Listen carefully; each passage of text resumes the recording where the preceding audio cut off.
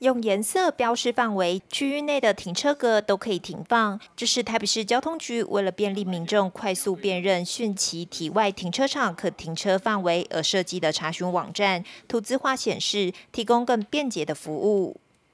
这个到了五月哦，就是我们的梅雨季。那接下来六七月呢，就会进入我们这个台风季。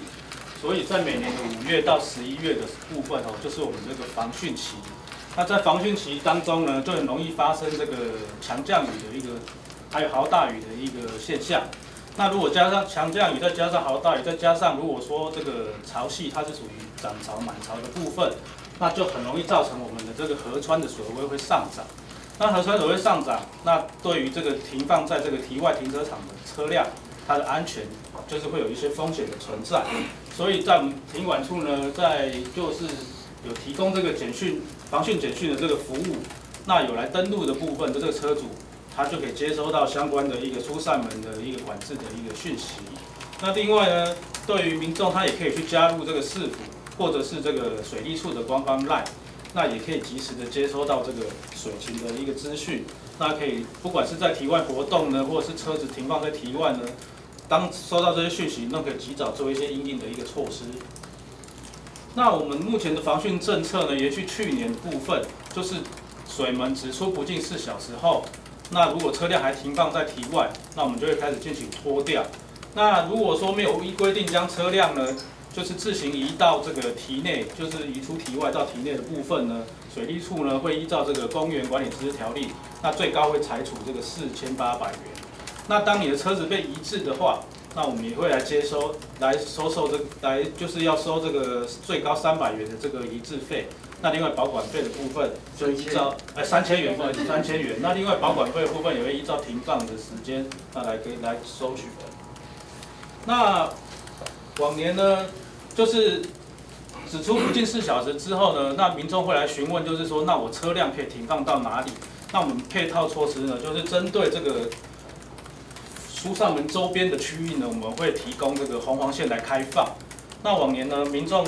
只能到我们停车停管处的网站，那我们是以 PDF 的方式去呈现。那可能对于一些民众来讲，他可能看的也是不太了解、不太清楚。那在今年呢，我们有架设了这个台北市政府停车防汛查询网的部分，那是用这个来呈现。那民众呢，他就可以针对他所在的区域，那去点选，那也可以去了解，就是说。它哪些路段是属于开放的？像我们可以看到这个可以开放路段，会用这个比较彩色的颜色来呈现。那这些路段就是可以开放，那其他的就是不能去停放，没有颜色的部分就不能停放。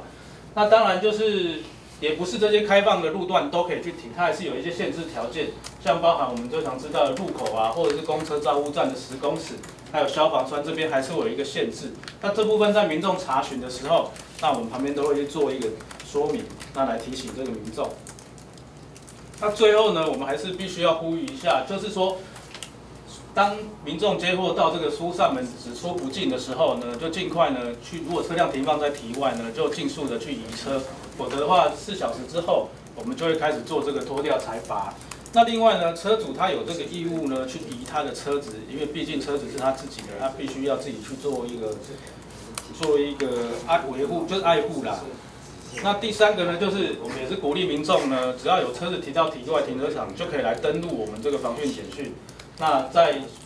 在必要水门有相关管制措施呢，他就可以来收到这些资讯。那另外呢，就是在豪大雨期间呢，就不要特别注意这个气象报告。像最近啊，就是常常会有豪大雨的发生，那这部分民众他可能就要特别注意。那